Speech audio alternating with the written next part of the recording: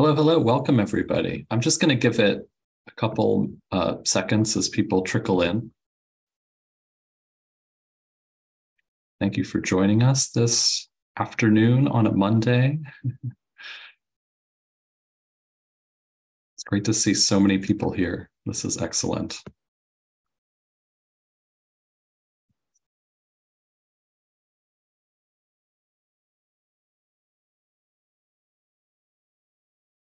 So yeah, I think we can um, get started. Uh, so welcome everybody. My name is Greg Stewart, and I'm the coordinator of adult public programs and a museum educator uh, here at the Philadelphia Museum of Art. Um, so I'm so happy to welcome you to Beyond Europe, Medieval Art and the World, the Eda G. Diskant Memorial Lecture. Before we begin, I want to say that it's with gratitude and humility that the Philadelphia Museum of Art recognizes Philadelphia as part of the Lenapehoking, the ancestral homelands of Lenape peoples. A long history of broken treaties, forced migrations, and fraudulent agreements, such as the Walking Purchase of 1737, uh, displaced many of Lenape from this land. This museum and our staff strive to understand our place within the legacy of colonization and to act as allies to the Lenape people and their vibrant communities today, including the Delaware Tribe, Delaware Nation, and Stockbridge Munsee community. And we pay honor and respect to Lenape ancestors, past and present, by committing to build a more inclusive and equitable space for all. So today's talk gives us a chance to celebrate an exhibition called uh, Medieval Treasures from the Glencairn Museum, which highlights work from this very important collection here in Philadelphia. And we are just so lucky to be able to steward uh, this while they undergo some, some big renovations. Uh, and it also gives us to celebrate um, Robert and Eda G. Diskant, and indeed the entire Diskant family, uh, who set up an endowment um, to honor their parents through this lecture series, which focuses on Europe, uh, European art between um, 1100 and 1900. Eda Diskant was a highly regarded Sorbonne educated scholar who just did so much um, meaningful work here at the Philadelphia Museum of Art. Um, and we're just so grateful to the Diskant family for their support and um, for this opportunity today. Um, so it, we're honored to be here with Dr. Risham Majeed, whose scholarship uh, expands our knowledge of medieval Europe in so many ways. And I'm, I'm really excited to hear a perspective on the works in the exhibition. Um, but before we do, I just want to give you a sense of how our program will be uh, structured today. So um, we're going to have an introduction on the exhibition, and um, we'll hear about Dr. Majeed's uh, bio from Jack Hinton, the Henry P. McIlhenny Curator of European Decorative Arts and Sculpture. And then Risham will uh, do her presentation, and then we'll have audience Q&A um, at the end. And we expect the program to last about an hour. As a reminder, you're in uh, Zoom webinar, so your camera and microphones are turned off, but you can ask questions in the Q&A box as they come up. And questions you really like can be upvoted so they rise to the top. Closed captioning is available by clicking on the CC button in the Zoom toolbar. And this program is being recorded and we will send the recording to everyone who has registered. So, so with that, I'm just going to turn it over to Jack. Thanks, Greg. Thank you so much for uh, uh, having me today. Sorry, I, I can't I can't see myself, so I'm not. I'm hoping you can all see me, but uh, it's a, it's a great honor to be able to introduce uh, Risham, our speaker today, for the Diskant Memorial Lecture. Um, certainly in connection with our show upstairs in the medieval galleries of the treasures from the Glencairn Museum, which really is is all about uh, connections, you know, making or, or maintaining the at least century old connections that we have between this museum and Glencairn uh, and the Pitcairn family, and also thinking about the, the wonderful objects, the masterpieces in that show and the kinds of connections that uh, Risham uh, can, can tease out for, for us from those objects to uh, you know, broader, um, more, more, global perspectives um, in art and medieval art. So Risham is the associate professor, professor excuse me, sorry, of art, art history and architecture at Ithaca College in New York. um, and has a PhD from Columbia University. And Risham uh, was born in Pakistan and grew up in Saudi Arabia and in London, and specializes in medieval art in Western Europe and the historical arts of Africa. Um, and her research investigates the parallel reception of the two fields during the emergence of art history as a discipline, and also the connection between European Middle Ages and historical African art. And her current projects include uh, an examination of sub-Saharan Africa in conversation with Europe during the medieval period, um, and also a re-examination of what the term medieval might mean when we think about other parts uh, of the world. Majeed's taught, uh, Risham rather, has, taught courses on the history of, of museums, on the political complexities of non-Western arts in Western museums, and medieval art from a global perspective. Um, Risham's curated exhibitions, including uh, Made to Move, African Nomadic Design, and Get Real, Seeking Authenticity in African Art, uh, with her students at Ithaca. And uh, has also written various uh, publications, including a review essay on exhibitions Caravans of Gold and Sahel in the Art Bulletin, um, about Meyer Schapiro and in, in, things in the Art Journal. And Risham's also working on a book length study at the museums of the Trocadero Palace in uh, Paris, um, which uh, uh, will, I'm sure, be absolutely fantastic. So I'm, I'm happy to hand over to Risham with her talk Beyond Europe, Medieval Art and the World. Thanks so much. Thank you, Jack, for that very comprehensive introduction. Um, and thank you, Greg, for inviting me. And to the both museums, Glencairn and the Philadelphia Museum of Art, for this great opportunity. So I will just start uh, sharing my PowerPoint.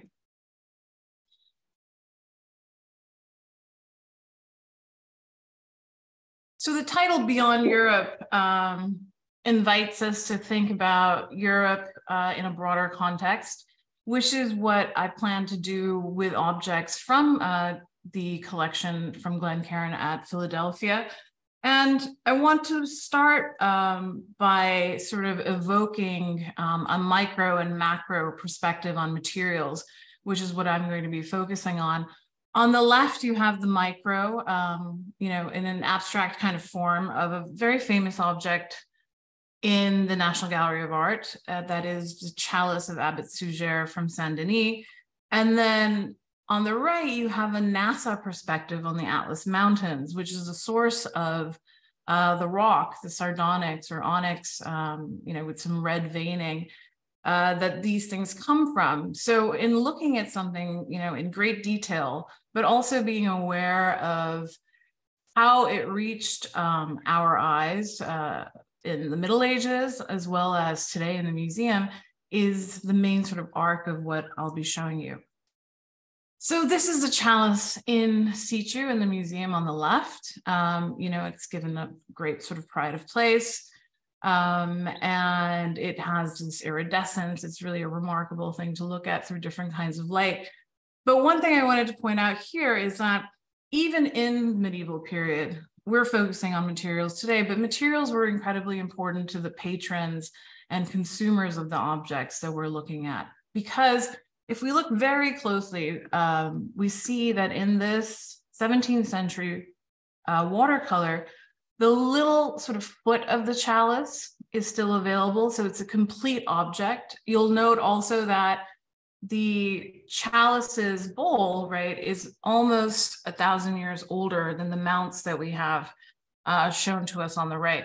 So it's the material of that um, unique object that is kind of celebrated and framed by the gold and the jewels that we see uh, that Abbot Suger had put together.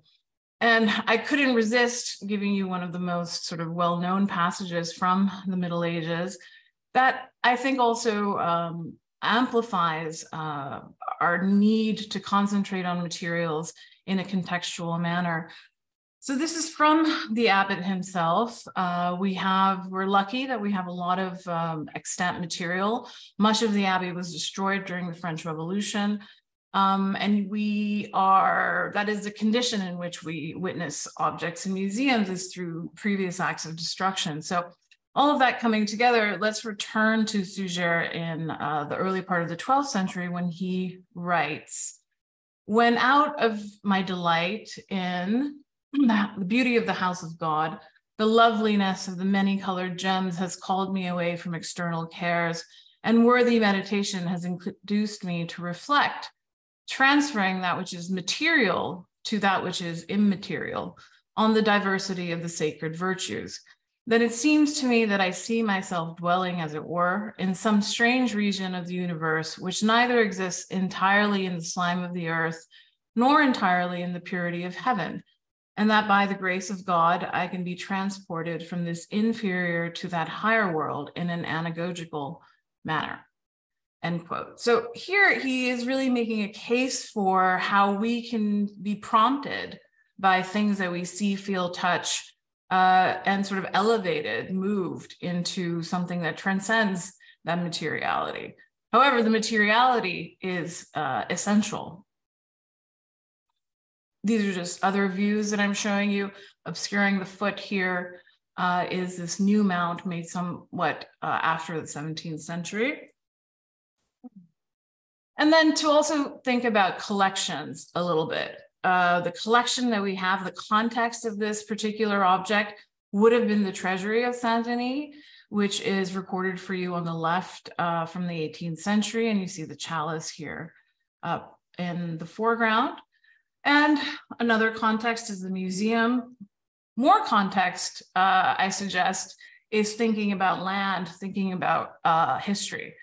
And so, whereas medievalists, we would purely experience um, the chalice as a liturgical object in the choir of the church to which it belonged. This is the choir of Saint Denis. Um, we can also hearken back to a landscape that is distant, but also made near through trade routes, which I'll tell you more about in a second. Another thing to keep in mind is that um, the Atlas Mountains in North Africa and North Africa also has a continuous kind of overlapping history of antiquity with uh, Europe as well. And on the left, bottom left, you see the ruins of an Arch of Triumph in Algeria. Moving to our subject of today, keeping in mind materials, routes, and place, we see Glencairn, which is also evocative of a, of a medieval um, establishment of some kinds and installs its objects in a way that harkens back to their original use. So you see the interior on the right and on the left is the exterior of the museum. And this is the exhibition that uh, Jack has curated uh, so beautifully in the Philadelphia Museum of Art. If you were to go there, I'm just going to give you a quick overview of what the galleries look like.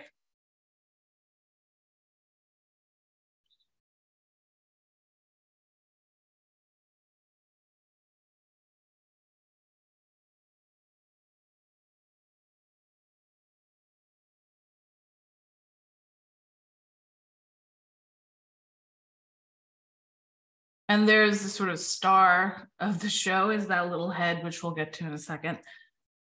Whoops.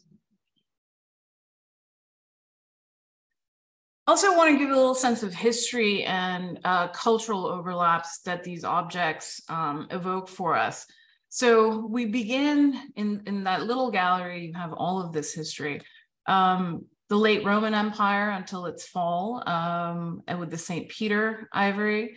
We then have a kind of shifting access to the origins of the materials that we're looking at, which for the most part in this uh, particular period are coming from sub-Saharan Africa. And so when you have that shift away from uh, Roman dominance into Islamic uh, dominance, you also see uh, ivory coming in great quantities into the Iberian Peninsula after uh, its conquest by, by Muslims. And then as we move into the 10th, 11th, 12th centuries, you have a further opening up of North Africa and trade routes um, uh, by virtue not only of uh, trade, but by also by uh, antagonism. It's also the period of the Crusades. And so interactions in this time period have territory involved, they have ideologies involved, but they also have a kind of mutual interest, which our objects will reveal. Um, another thing to keep in mind is the simultaneity of empires in Africa that are also converting and engaging in the, the trans, uh, trans-Saharan trade in a, in a very prominent way that we've only recently come to appreciate as a kind of motivating and all kind of inclusive force for the Western European Middle Ages. Um, exhibitions are really key to understanding these things because it's really through exhibitions of late that we've learned about trade routes. Um, there was an exhibition at the Gardner Museum that talked about Simone Martini's access to gold, for example, which I'll return to. But our objects are from Northern Europe, and you can see exactly where uh, Rouen, Autun, um, northern Spain, as well as Saint-Guillaume in southwestern France. And you see the proximity that you have, you know, through um, the Iberian Peninsula to North Africa. And remembering that in most of our period, control of this area is uh, under Muslim rulers. Another thing to remember, and perhaps reconsider actually, is that Africa has always been a part of a conversation in Europe because the kingdom of Aksum uh, converted to Christianity just about the same time as uh, Constantine um, came to prominence and also later converted to Christianity, and also the very pragmatic nature of conversion.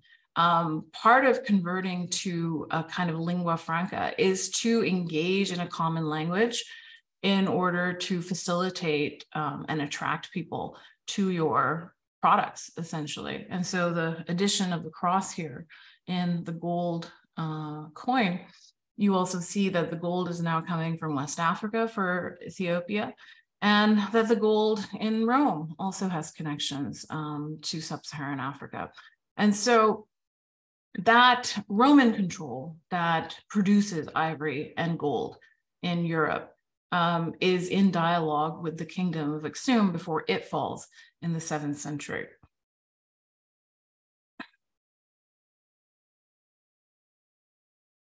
Just to give you a sense of where we are in terms of Aksum, so this is contemporary Ethiopia, and the empire of Aksum here has um, access to the tributaries of the Nile all the way up into eastern to the eastern Mediterranean, and you see that the imprint of the Roman Empire slowly sort of transforms into a culturally hybrid, um, what people now refer to as an Islamicate uh, region. Another thing to uh, question is how do we know it's African ivory? It's not coming from India because in Roman times, India was really anything south.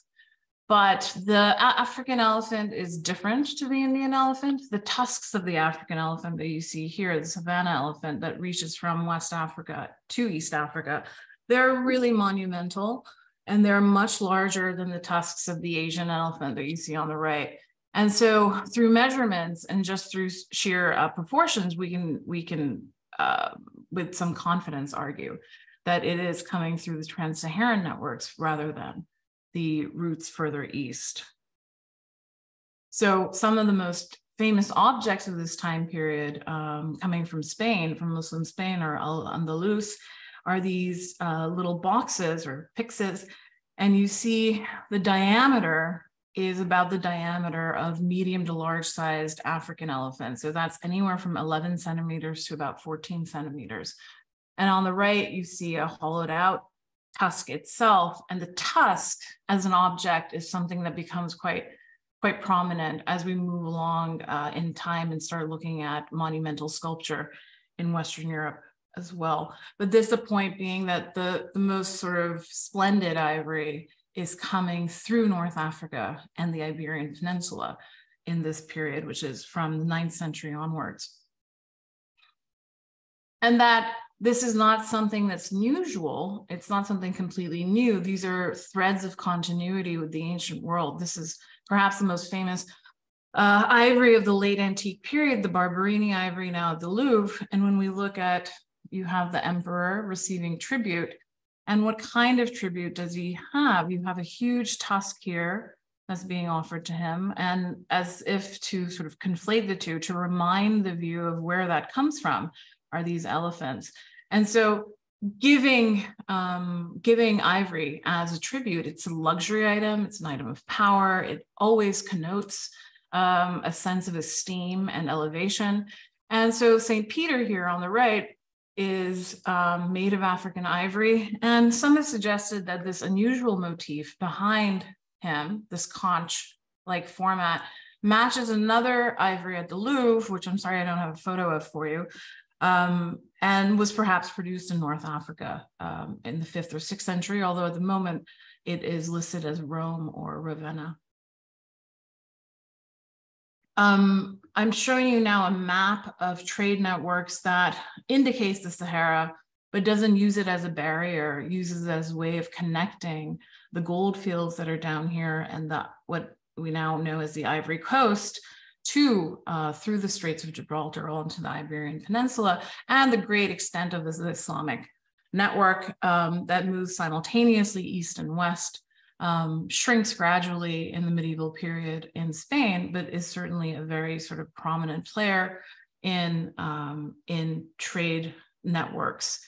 So the map I'm showing you here again is really thanks to Caravans of Gold, which was curated by Kathleen um. And so again, to really emphasize the role of new research that's coming from recent exhibitions is really animating a lot of new thinking about objects we're so familiar with. In the another pyxis from the same time period, you see that the elephant is featured with the tusk on its own tusk.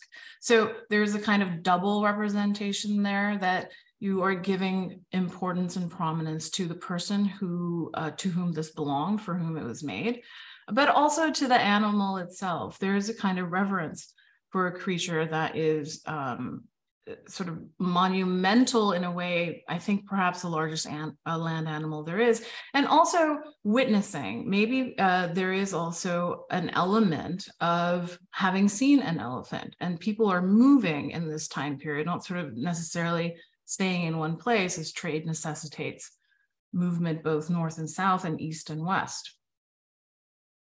In other ways, uh, the elephant takes on symbolic forms. Uh, and what we have here are images that a friend and colleague sent on her trip from Italy just recently. And you have these uh, elephants uh, prominently shown on a throne, supporting a throne.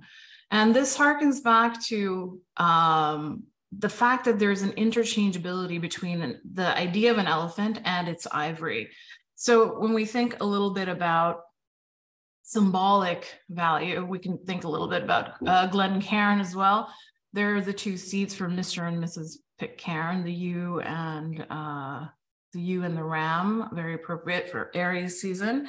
Very sweet, symbolizing the family just a little sort of connection there. But our main object for this point is the casket in the exhibition, which is made out of ivory as well, and takes uh, its themes from the Book of Kings, from the throne of Solomon. And so you see here the judgment of Solomon, um, where uh, he's seated on a throne. Let me get you a, a close up, where he's uh, seated on this throne um, and you know deciding which which mother is is the real mother. We all know that story. However, the thing of itself is made out of ivory, and he's seated on a throne with his uh, legs and feet elevated off the ground and you know king's feet don't touch the ground. So it is literally made out of ivory the throne on which he's sitting because of the material of the entire box. But it also takes us back to the book of kings which describes the throne of solomon as being made out of ivory as well. Uh, from the book of kings a great throne of ivory and overlaid with the finest gold. It had six steps and the top of the throne was round behind and there were two hands on either side holding the seat, and the two lions stood one at each hand. So we don't uh, we don't have an evocation of that, but the but the physical manufacture of the throne in the narrative here harkens back to an older text. And as we move into ivory itself and its representation as tusks, we get into um, Saint Lazare, which is where the little head of the king from Glencairn is from. And here, it's not always the case that you will see the trumpets of the Last Judgment um, as huge ivory tusks as you see at Autun, um, as I'll show you in other examples. Here, however, this is the tympanum of Saint Lazare in Autun, and it shows the Last Judgment. And I'm giving you the details of these ivory horns that are up here with the little angels and the round of the tympanum. And our head here to give you a sort of a close up of that, of a hollowed out tusk, and then a contemporary example. This is actually at the Louvre, and that the sort of decorate the decoration is very similar um, to the tusk that is shown in the Last Judgment. This is the sort of announcement of the end of time. It has uh, echoes of prestige and terror um, that we'll get into in a second. The head we believe comes from this now empty archivolt that might have had the elders of the apocalypse um, that are described in the vision of St. John. Um, not quite sure, but it is a king. And knowing other examples from this time period that show kings, uh, or rather the elders as kings, we can take a look in a second at the close up here. Also, not only are we locating this object in its own time, that is, you know, as it was made in the 12th century, it itself is evoking a future, right? The second coming of Christ. And then if we look at it very closely, it has a crown, but the crowns at Autun are, are, are, are varied.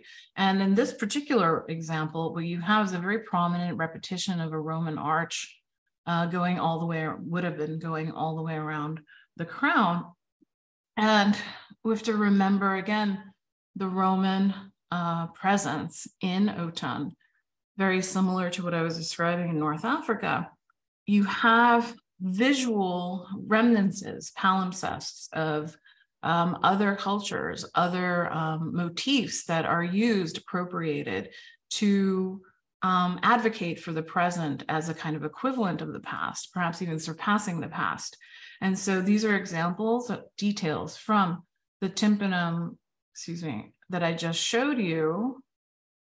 The details of these arches that I'm showing you is from, this is the foot, the feet of Christ and an arcade that runs across it.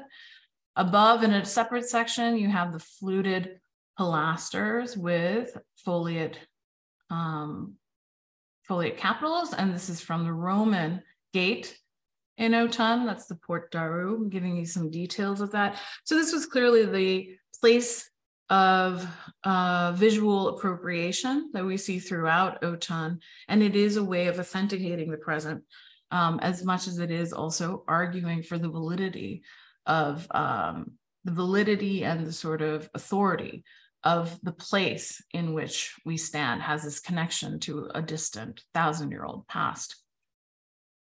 And just another example of some Roman ruins around Autun. This is the Temple of Janus. Um, and this gets us to another object in the exhibition, which is from a place called Saint Guillaume le Désert. And here I want to uh, emphasize through form that these both these religions christianity and islam are very actively engaged with the roman past that is readily available to them in proximity to the places in which these objects were created.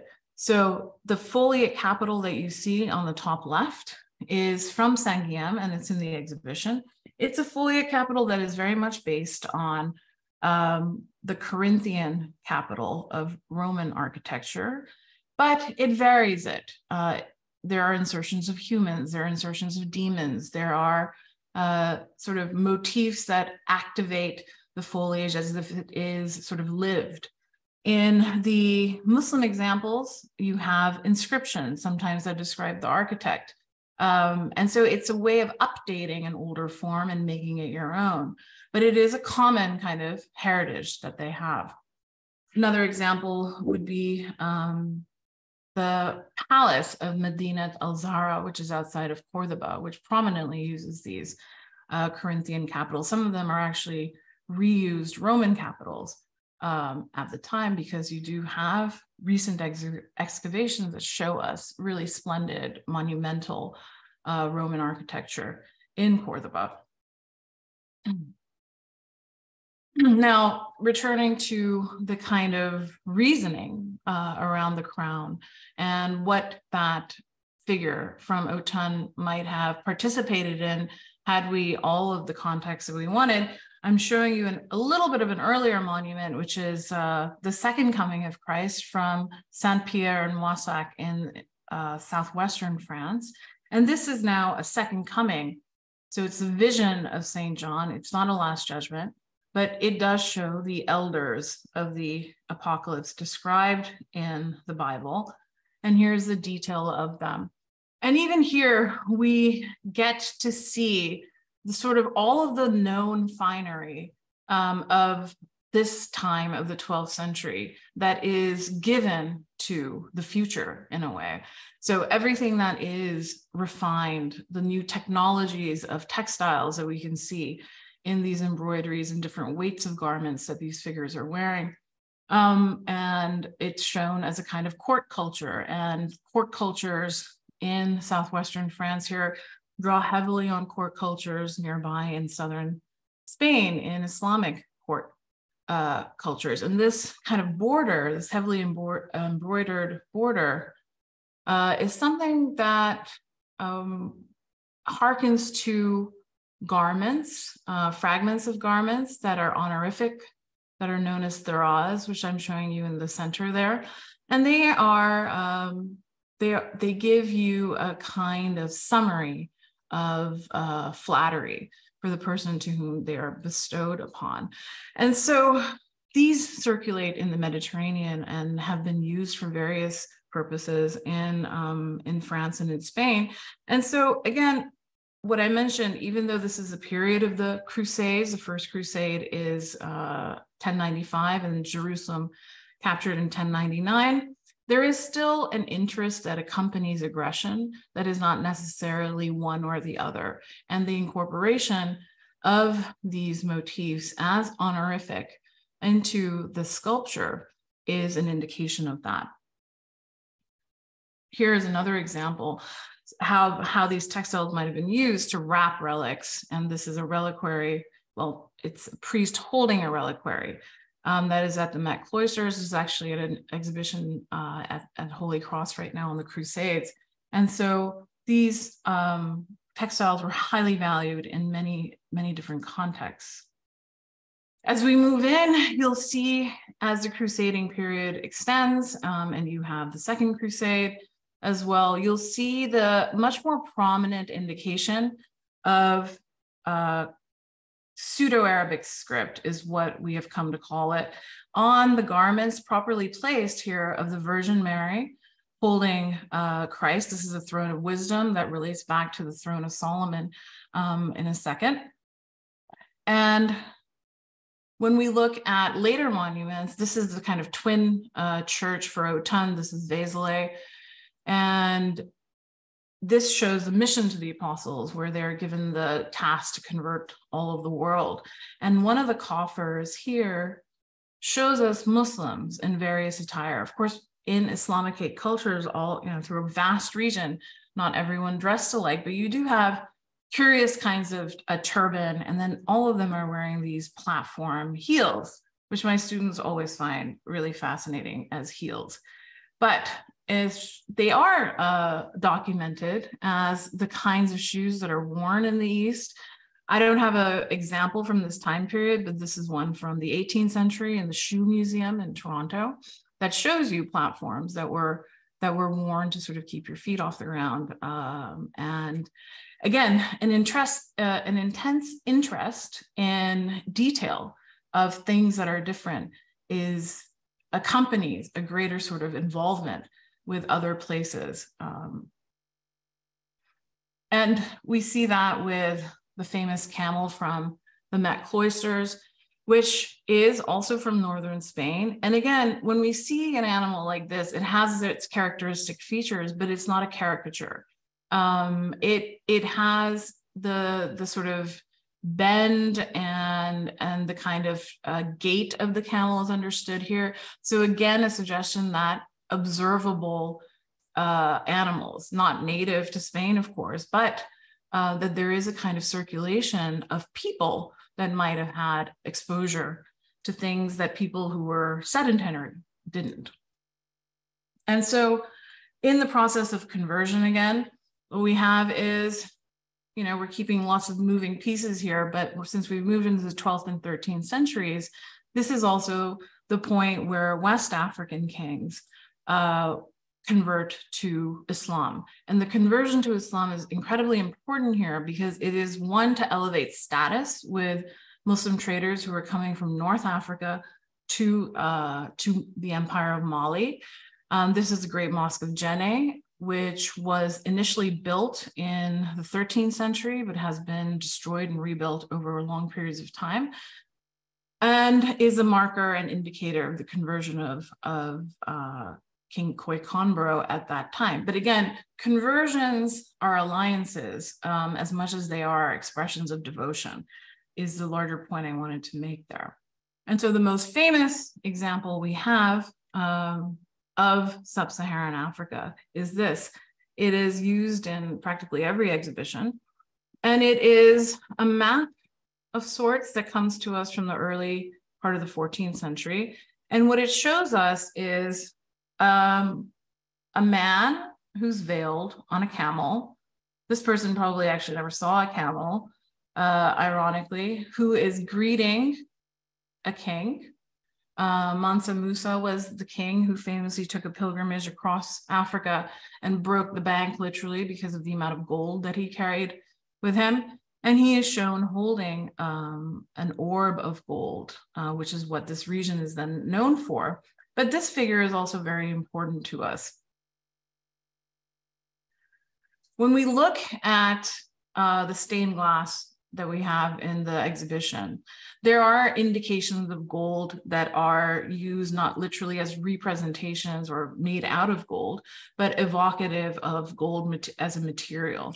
And so the Rouen window here, which very prominently um, silhouettes and creates a space for the exchange of the gold coins here um, gives us a sense of um, the materiality of, of the gold coin itself. And usually when we look at stained glass, we can talk about color, we can talk about um, iconography, we can talk about typology, but we can also now think about what did that gold coin mean for a viewer in the 13th century who might have been aware of, uh, of where it was coming from.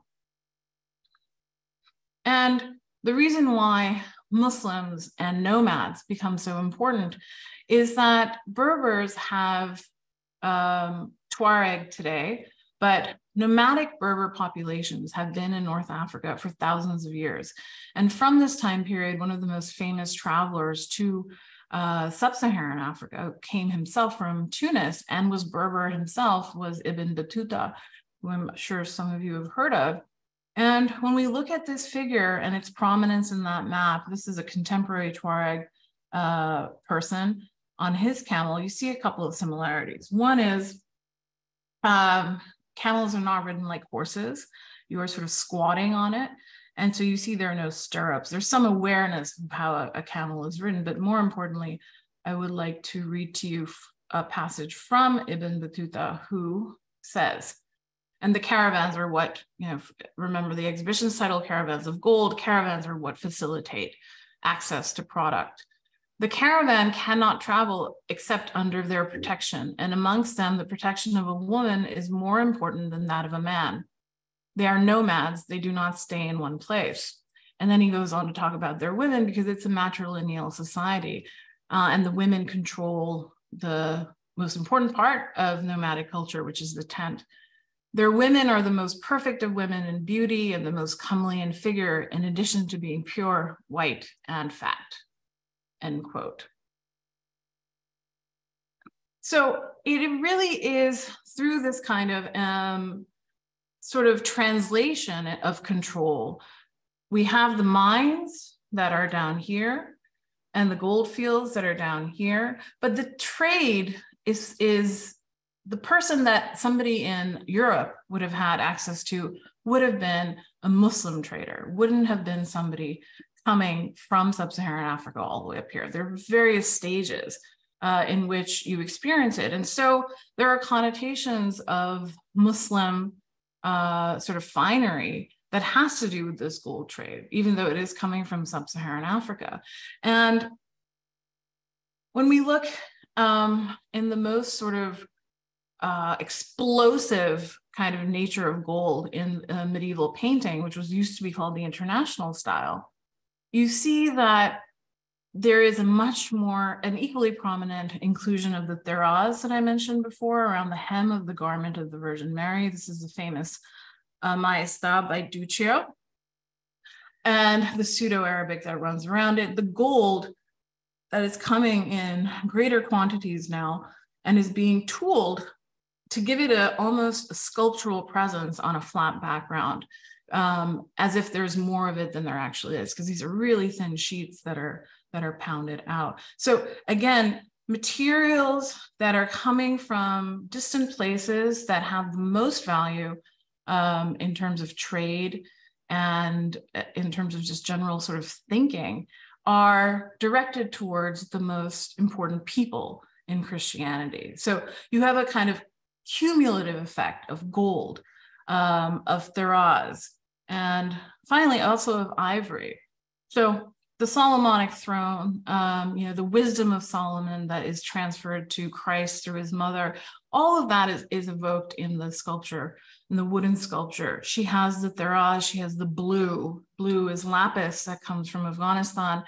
And then the ivory virgins that are so famous in this time period again, it's not just the material, but it's as if the newer, the, the most sort of available, sumptuous materials are kind of embedded into these characters to keep them up to date uh, in terms of they're not, of course, not only in terms of their importance, but through what the known world has uh, to offer. Thank you.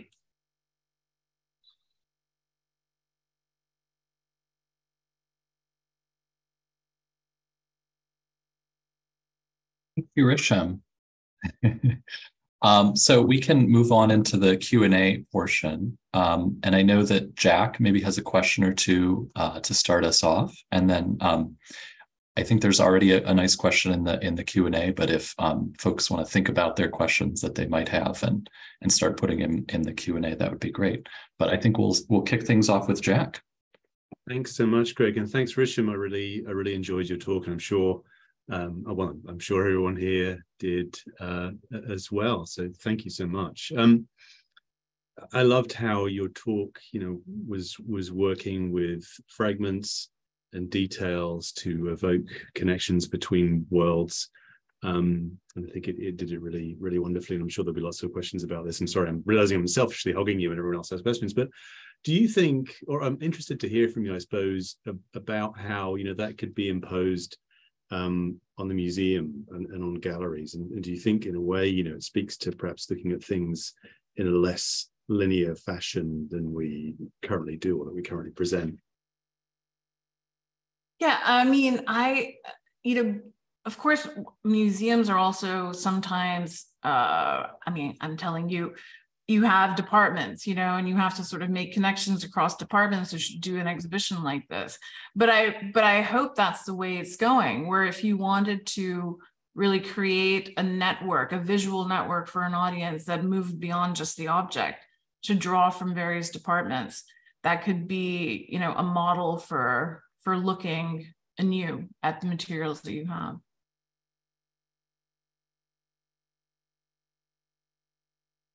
Thank you. I can't see the questions, Greg. Can you? Um... Yeah, yeah, I'm I'm happy to um, kind of start to read some of these questions here. Um, so we have a, we have a couple questions on. I think Risham, you piqued some interest around the idea in in one of your captions of of a once known um, maker, and I'm I, I think people are curious about that. Um, I know that Kathy Foster, one of our curators here, is, is can you comment on the distinction between unrecorded and once known? weren't all these makers once known in a small circle?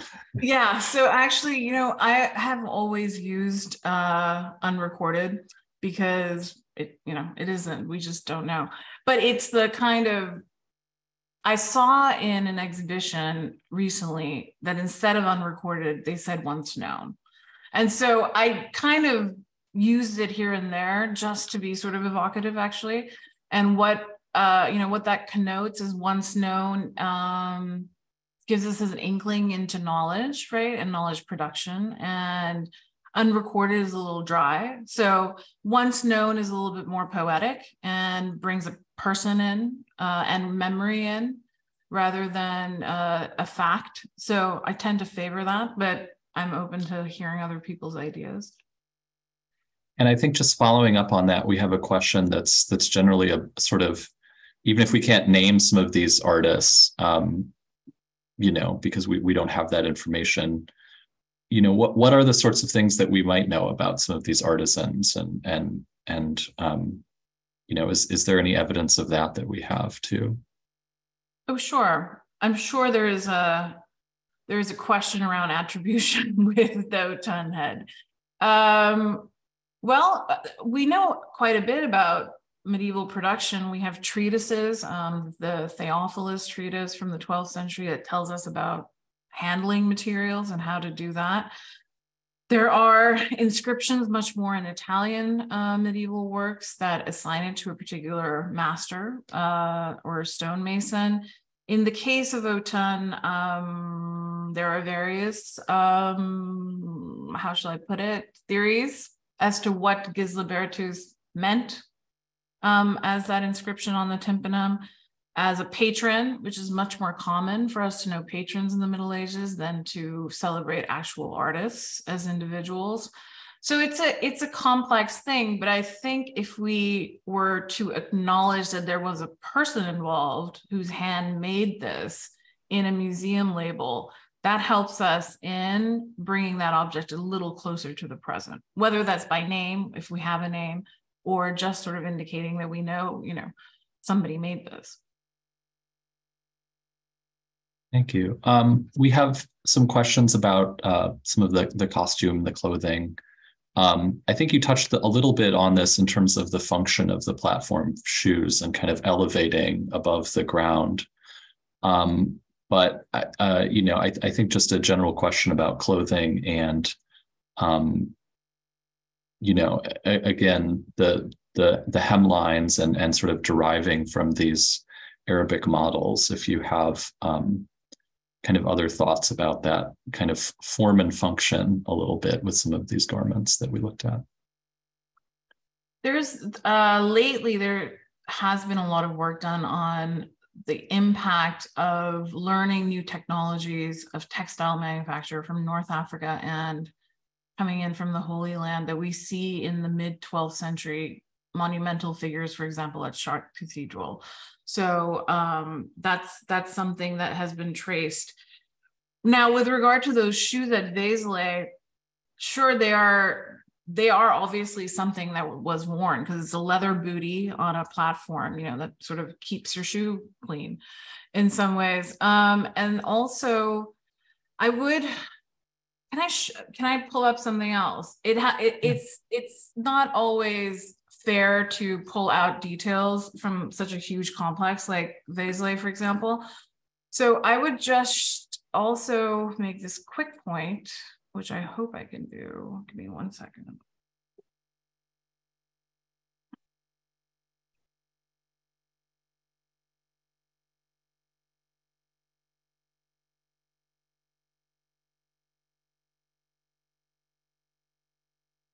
Okay, can you, can I share my screen now? You should be able to. Um, yeah, we didn't change up. Oh. Okay, so there this is the complete tympanum and its coffers. This is what I showed you.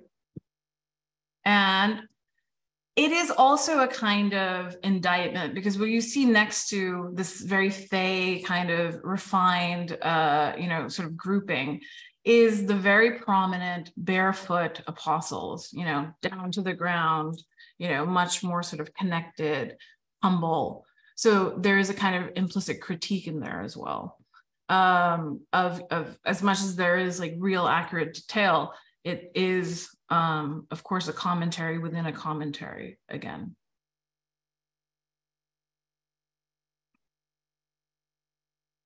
Thank you. Um, just kind of looking at some of the other questions here. Um, oh, here's here's one uh, in terms of um, thinking about uh, these cr- Christian religious objects made from materials in the Islam- Islamic world and um, uh, evidence of, of resistance to that or, or tension within that kind of material circumstance and their use maybe is one question we can draw from that.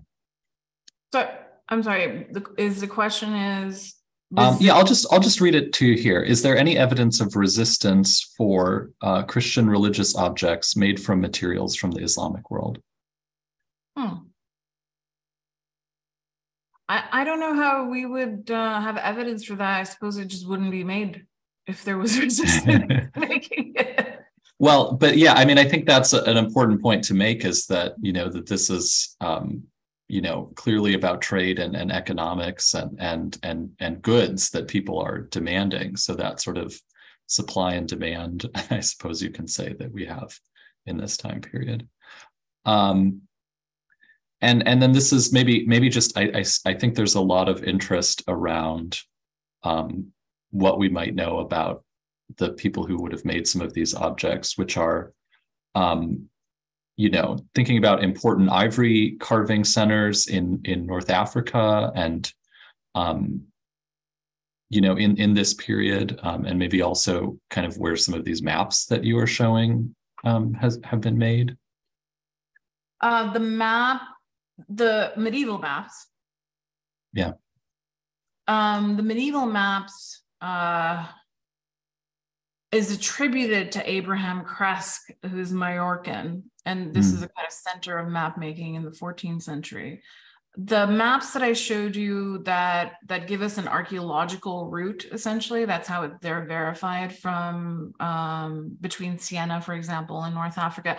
Those were based on uh, recent archaeology that um, that some museums have put together. So that's where I got that from. But in terms of centers of carving, et cetera, you know, Cordoba is one at the at the sort of height of the Islamic period there, as we know with these with these um, these pixies. Um, ivory carving Paris becomes very important in the 12th and 13th centuries.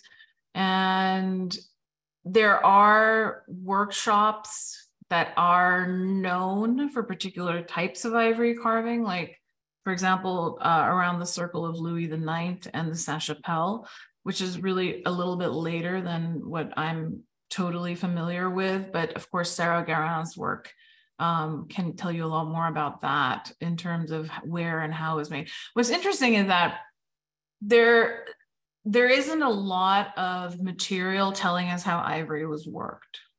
There's obviously evidence that there's some kind of training that goes on that you wouldn't give a tusk to just anyone, you know, that's really rare. Um, but as with a lot of the Middle Ages, our documentation is coming from the objects themselves. So I think more study would help with that regard.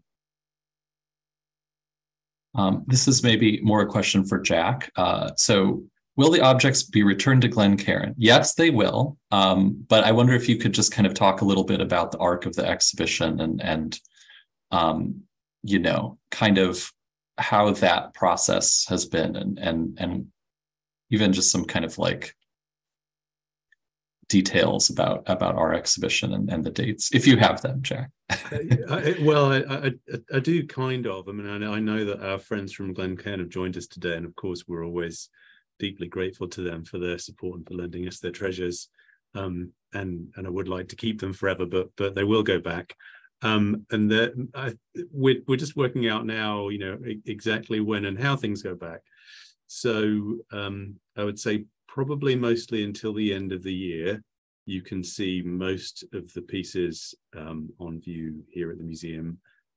A couple might go back earlier, and we're just in the process of, of figuring that out. But um, in any case, you know, it's been it's been it's a privilege to have them here and to be able to see them. And also, I'd say and I think my friends from Glencairn would agree that it that it's also interesting because you know you you see them differently here than you would at Glencairn. So, for example, the the relationship between the pieces from Rouen um, and the piece from Saint Denis uh, seen together rather than in separate rooms, for example, or the juxtapositions between the ivory and the and the Gislebertus head. So, you know, I would say why not both? You know, see them here, enjoy them here, and then when Glencairn's reopened in uh, the end of this year and in 2024, uh, go and see them there as well.